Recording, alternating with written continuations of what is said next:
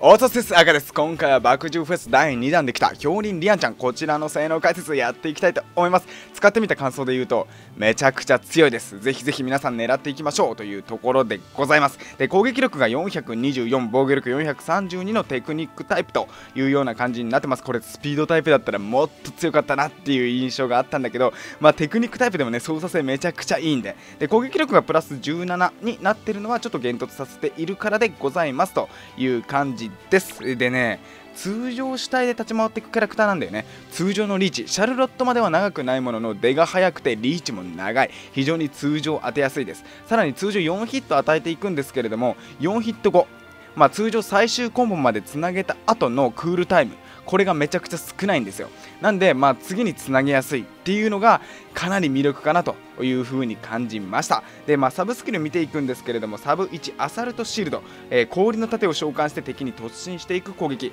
まあ、これは敵の飛び道具系の攻撃。打ち消しながらダメージを与えていける。めちゃくちゃ距離感も長くて、まあ、でもそれなりに速いという非常に優秀なサブ1になっております、まあ、例えばなんですけれどもニトラのワッカッカーとかあとはあとハムリーのハムスターとかまあ、そういうのも書き消していけるという感じですね。でティナのあのメインスキルの一番大きい氷の氷じゃないあの変な玉っこは防げないんだけどその後飛び散ったあのちっちゃい宝石みたいなのも書き消していけるというような感じですね。もうサブ1めちゃくちゃ優秀です。はい。であとなんだっけあのキュービーのメインスキル。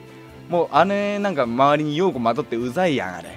ああいうのもこのサブ1しっかりダメージ与えていけるんだよね。そこも嬉しいところでございます。はい強いね。でサブスキルの2つ目フロントジャベリンということで氷の槍を召喚して敵に投げつけていく攻撃。これ出がちょっとね遅いから避けられがちなんでまあちょっと打つポイント。ここは見極めて打っていかないといけないのかなというところなんですけれども当たると壁寄りまでねズーンと寄ってってね壁までねあのボションみたいな感じでダメージ与えていけるんでまあその間まあ敵がね動けない。間が結構あるんでその間に自分があ、まあ、スキルを貯めたりとかいう時間に使えたりするのも嬉しいよね。まあ高速ではないんだけど、まあ、その高速時間が結構ね長かったりするんでそれも嬉しいところでございます。もちろんあのサブスキル系、えー、もう3連撃あのなんだっけあのエミリアの3連撃の攻撃なんかもこれで相殺しっかりしていけますよという感じになっておりますね。でメインスキルですよ。メインスキルがめっちゃ火力高い。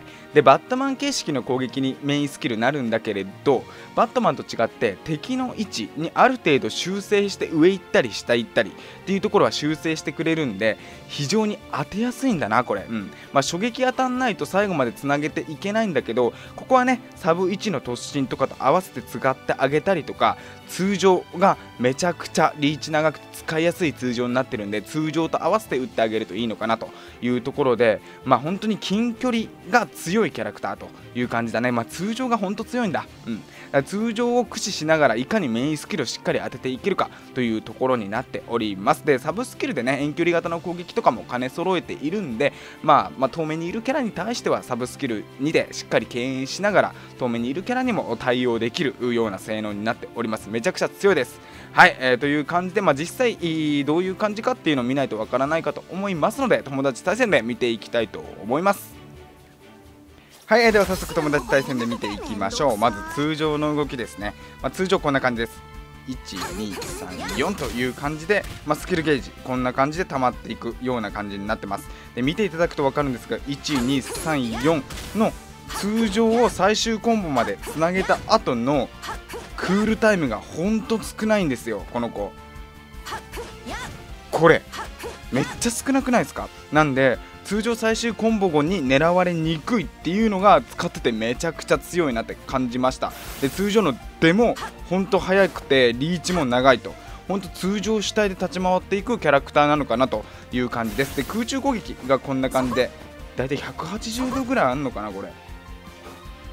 うん強いね、ま、空中攻撃も非常にスピードタイプみたいな感覚で使っていけるようなあ、まあ、空中攻撃になっております。で空下がこんな感じですね。でまあテクニックタイプならではのあの無敵時間もありますよという感じなんでまあただたテクニックタイプの空下ってあんま僕使わないんですけどね。スキルゲージもそこまでたまらないし火力もないというところで敵の動きを崩していく時に使っていくというイメージですかね。でサブ1見ていきましょう。でサブ1なんですけれども突進攻撃になるんですが例えばニトラのこういう飛び道具系の攻撃。これをねもう相殺して打っていけると。で飛距離も結構長いんですよ。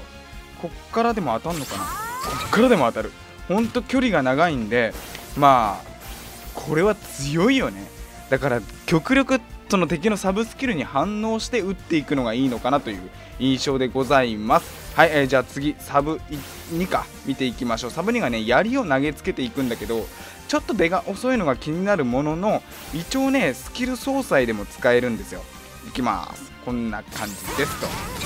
まあ、ニトラのあの飛び道具攻撃とかは相殺しつつ、まあ、ダメージ与えていけるという感じだね。これ何が相殺できて何が相殺できないかとか、まあ、どういう感じになってるのかっていう詳しいというかそのキャラごとの、あのー何が相殺できてできないかみたいなのは別で動画撮りたいなと思ってるんでもしねよかったらそちらも見ていただければと思います。でまあ当てるとこの壁までぶち当ててこっちに跳ね返ってくると、まあ、そこ通常入れてもいいですね。というところでございます。でメインスキルお待ちかね。見ていきましょう。メインスキルめちゃくちゃ強いんだこれ。本当に。例えばまあゼオのメインスキル。なんかも相殺していけるんだけど結構まあ相殺できる。アンジェも相殺できるしゼオも相殺できるしグラキュースのメインスキルも相殺できるしあとはラムのメインスキルも相殺できるね。結構相殺できるんですよ。あとは井上門のメインスキル。あれもタイミング見たら相殺できる。めちゃくちゃ強い、えー、メインスキルになっております。まあせっかくなんでねえー、とこの子メインスキル打たせてメインスキル打っていくんだけどこう相殺して当てていくと。強めっちゃこれが強いんですよ。でヒット数多いんでフィーバーゲージが溜まりやすいんですよねこのメインスキル。でまあフィーバーゲージ溜まりやすいっていう部分で、まあ、今後、まあ、上級ダンジョンダンジョンっていうか探索もうなんか解放されていくみたいなんでこのフィーバーゲージの溜まりやすさを生かしてどんどんフィーバーを打って、えーまあ、敵を殲滅していくみたいな動きもできるのかなと。まあ強いてあと言えば槍とかも投げられて例えば3対1でその3人がめちゃくちゃ強いってなったとしてもその探索ねあの1体飛ばして2体にして近くのやつから殲滅していくみたいなムーブも動きもできるのかなっていうところでいいよね。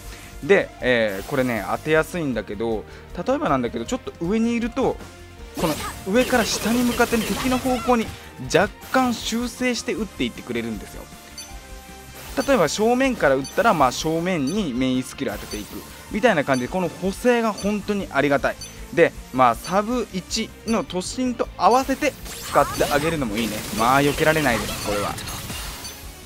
そんな感じでもう本当に通常が非常にリーチが長くて強い。なおかつサブ1で、えーサブ1がだよ。あのニトラのメインスキルのワハハも防ぎつつあとは飛び道具系の攻撃も防ぎつつしっかりダメージを与えていける。でサブに一応飛び道具系の攻撃。当たったらあの壁際まで敵をぶっ飛ばしていく。いやめちゃくちゃ強いです。いや本当に強いです。で、えー、まあファナとどっちが強いの？みたいな話とかもあるかもしんないんですけれどもファナは遠距離型。遠距離型で言うとファナの方が遠距離は強いです。やっぱり。メインスキルがザ遠距離っていう感じなんでただ怠慢になってくるとファナの怠慢あファナのメインスキルは怠慢だと避けられがちに最近だとなってきてるんでもうみんな分かってきてるからね。そうなってくるとやっぱり怠慢で強いのはこの通常のリーチの長さ。そしてリーチの出のリーチじゃないや。出の速さ通常の。うん。で、えー、通常の最終コンボのクールタイムの短さ。さらにまあテクニックタイプというところで動きがかなり滑らかなんだよね。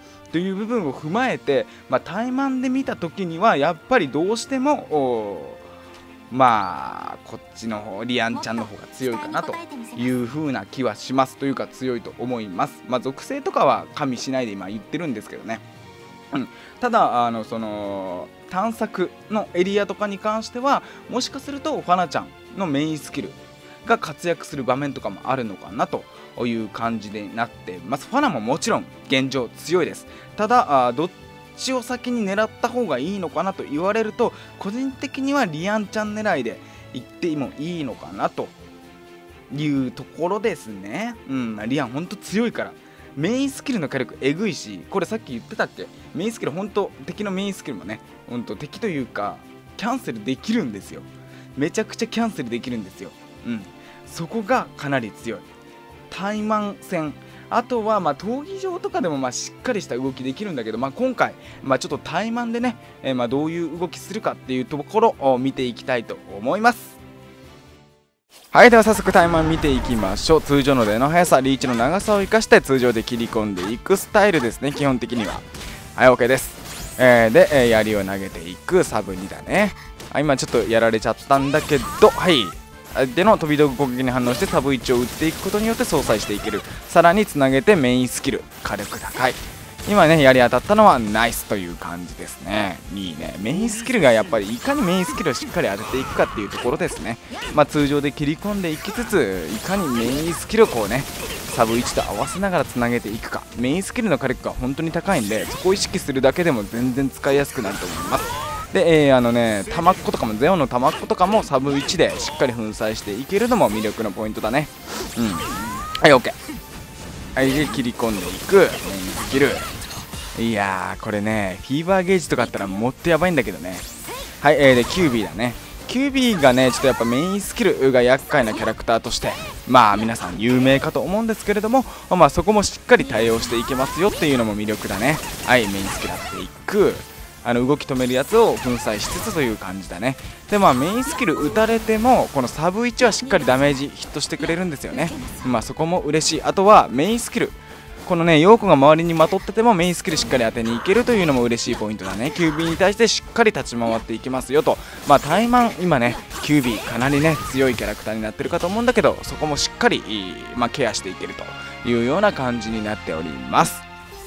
はい、2戦目やっていきましょう。まあ、ロシェットだね、怠慢といったらちょっとうざい感じなんですけれども、まあ、この槍はコロリンで避けられるのと、さらにサブ1でしっかりかわしていけるというか、粉砕していけるっていうのもいいよね。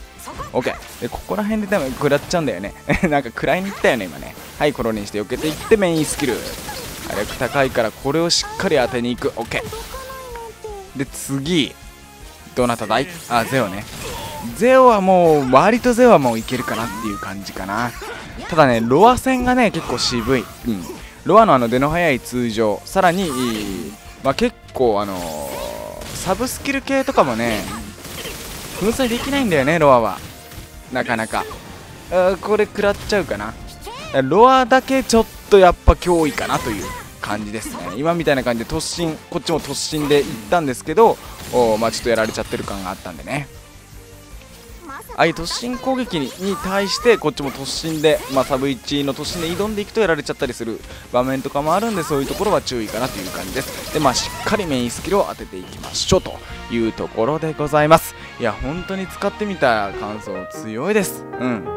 ぜひぜひ皆さん狙ってみてもいいんじゃないのかなと。というかぜひ狙ってくださいというキャラクターになってます。使い方分かったらほんま楽しんで。はい、えー、という感じで、まあ、今回、えー、爆獣フェス第2弾できた、えー、リアンちゃん。こちらの性能解説やってまいりました。リアンちゃんに関してはね、えー、まあ他にもね動画ちょいちょい出していきたいなというふうに思っておりますのでそちらも合わせてよろしくお願いいたします。気が向いたらチャンネル登録 Twitter フォローなんかもしていただけますと嬉しいです。という感じで今回こんなところで終わってまいります。どうも最後までご視聴ありがとうございました。僕もねタイマン戦もうちょっと腕を磨いて、えーいい動画撮れるように頑張りますのでよろしくお願いいたします。では次回の動画でお会いしましょう。どうも最後までご視聴ありがとうございました。赤でした。